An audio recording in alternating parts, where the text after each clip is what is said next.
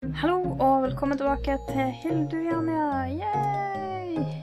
Um, I dag skal vi ordne togbane uh, for å fange villagere og tvinge dem til å bo i festningen vår. Uh, stakkars villagere. Um, sånn. Jeg tror ikke vi trenger noen sånn powered rails, for jeg tror vi egentlig kan dytte dem under tvil. Eller skal vi ordne en sånn uh, der med en furnace i? Det kan vi òg gjøre. Det er jo litt kult. Da blir det som et faktisk tog. Uh, vi må bare passe på at vi gjør det om dagen, sånn at det er minst mulig monster. For uh, det, det, var en sånn dum ting jeg gjorde en gang. Det var at de Jeg sendte i vei noen villagere på en togbane, og så ble det natt, og så har de spist? Uh, mm. Jeg klarer aldri å lese klokka. Har det nettopp blitt dag? Ja, jeg tror jeg Hvorfor glitrer det i taket? Uh, OK. Greit nok. Tror det nettopp har blitt morgen. Så jeg har Å oh, ja! Det var Jeg forsto ikke hvordan de åpna seg, men det er jo sånn pressure plate her. Jeg tror jeg har kanskje ordna togbane helt hit, faktisk. Um, det ser sånn ut. Så da skal vi bare gjøre sånn at den kommer seg ned. Og inn i her. Da må vi fjerne noe greier. Sånn. Det går sikkert fint å ha det åpent her en liten periode, vil jeg tro. Um, sånn. Og så må vi ødelegge alt i vår vei. Jeg har ennå ikke fjernet den automatiske hoppinga. Det bør jeg gjøre til neste gang jeg er i nærheten av lava, i alle fall. Sånn. Ja. Det har vært litt fullt i inventoret mitt. Sånn. Oi. Uh, ja.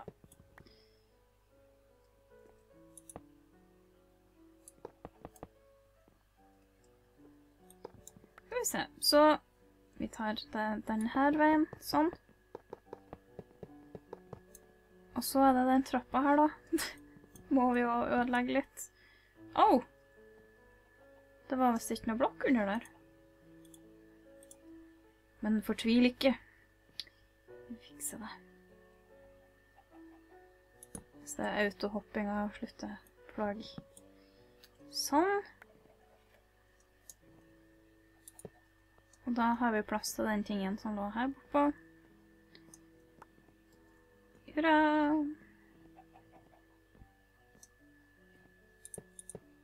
Sånn. Å ja, det var en sånn der Så det her gikk jo egentlig ganske greit. jeg trodde jeg skulle mye mer uh, fikling til for å fikse det.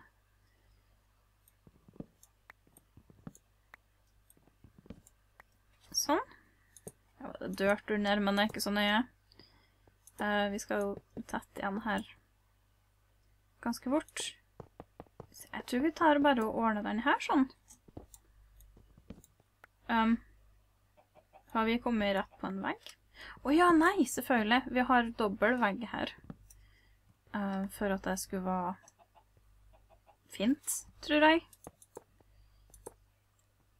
Det var sånn at det skulle være jevnt om jeg husker rett. Så da det er bare å fullføre videre denne veien. Hei, kjøpkruppen. Tror vi at vi når Nå er spørsmålet skal vi kjøre dem helt inn til leiligheten. Eller skal vi hmm. Vet ikke. Jeg tror vi kjører dem inn til kjøkkenet, kanskje, og så får de bare spre seg litt sånn som de vil. Funker ikke det, da? Det er sånn her bare for at de skal forstå at hei, her skal dere faktisk jobbe. Vær så god. Um, kan ikke plukke opp de der. Er det ikke ei kiste her noen sted?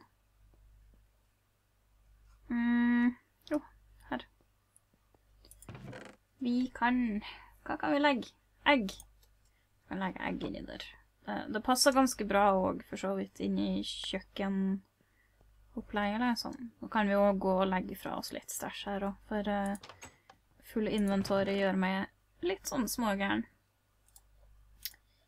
Um, den og den. For så vidt skal vi jo legge på plass alt, da, men det kan jeg gjøre utenom opptak, for det er ikke så interessant.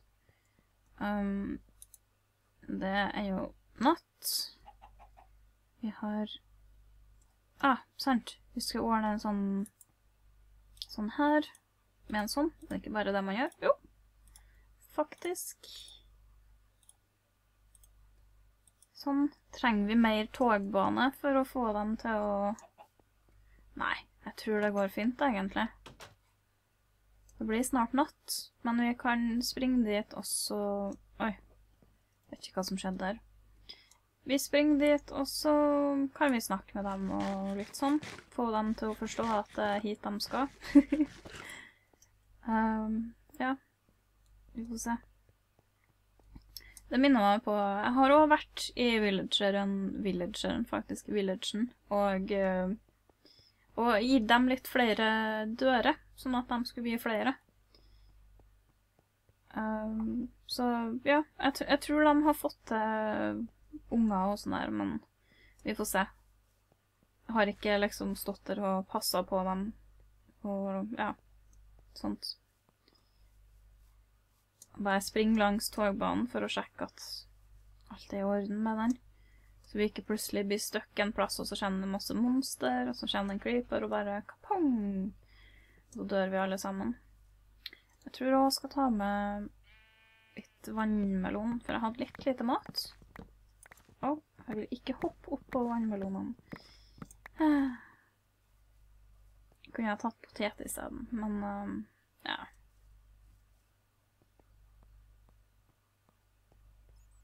Skal vi se det ser ut som ting er i orden her. Det huset der må gjøres ferdig. Jeg er ennå ikke helt sikker på hva jeg skal bruke det til, men den også. Um, jeg har også glemt å sette på timer. Um, så jeg vet ikke helt hvor lang tid jeg har brukt på det her. Men vi setter den på nå, så går vi ut ifra at ja, fem minutter. Jeg vet ikke om vi er fem minutter inn. Kanskje er vi så langt som ti minutter. Nei, jeg kan ikke ha brukt ti minutter på det her. Um, så jeg vil ikke åpne opp den her helt ennå. De kommer seg ikke ut her nå. Uh, jeg tror heller ikke monster kommer seg inn.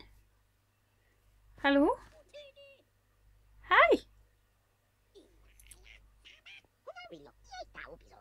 OK.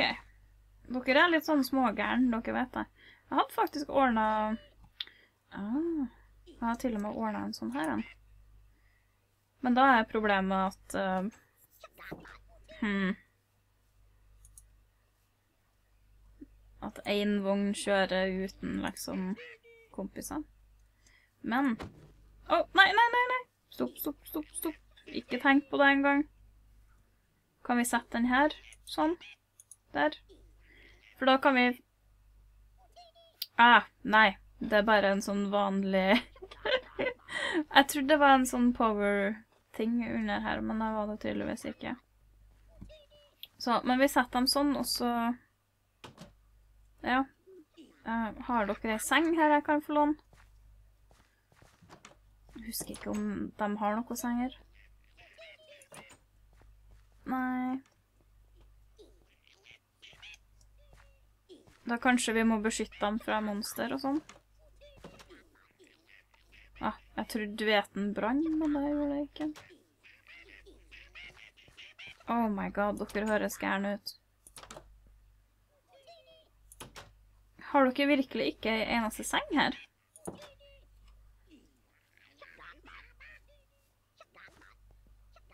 Hmm. Sniker bare gjennom vinduene der, deres sånn. Det er noe sau... Å, oh, jeg har faktisk en share, så jeg kan faktisk... Uh meg. For jeg blir ikke å flytte alle over herifra, liksom. Eh, det er umulig, og dessuten vil jeg ikke, liksom Det er greit at vi har eh, noen villagere som bor utenfor landsbyen, sånn i tilfelle vi trenger mat og sånn der, sant? Spørsmålet er om vi kommer oss over hit. Oh, vi gjorde faktisk det. Dere- bør gå inn nå, altså. De høres så gærne ut at de kanskje ikke bryr seg så veldig om at de bør gå inn. Jeg vet ikke helt.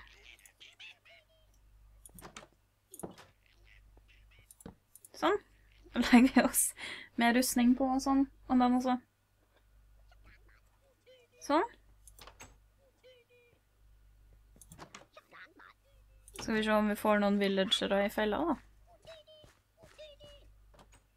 Hva er du for noe? Weaponsmith. OK, kult. Jeg har også drevet og bytta litt med dem, for jeg fant ut at det var måten å, å gjøre at de fikk unger på, rett og slett. Kan dere eh, Kan du gå i den eh, ene vogna? Å? Stopp, stopp, stopp, stopp. Ikke helt ennå. Stopp. Ikke gå på den blokka, er du snill. Eh.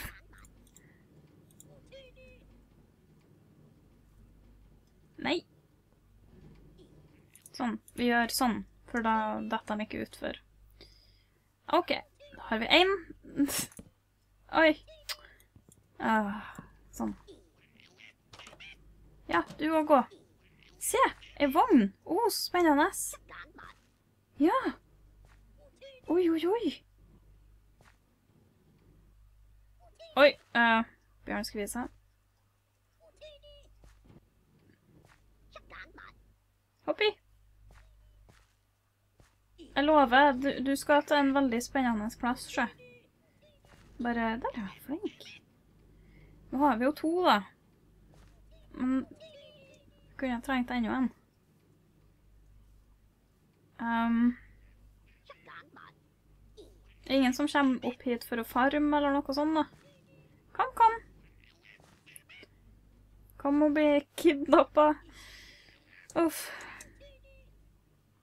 Jeg kan ikke dytte dem helt herifra heller, for uh, jeg får dem ikke til å hoppe, liksom.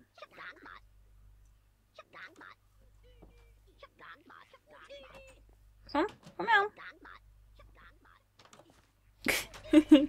det går liksom ikke helt. Oi! Hei! Skal du òg være med?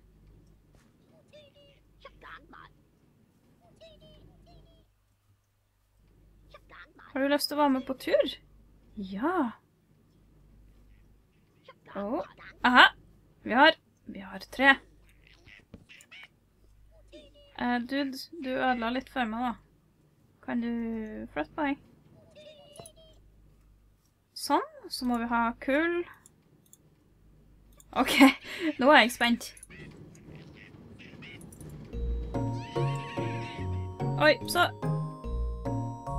Jeg drepte ham ikke.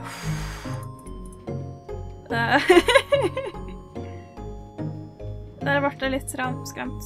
Sånn ikke bare litt heller.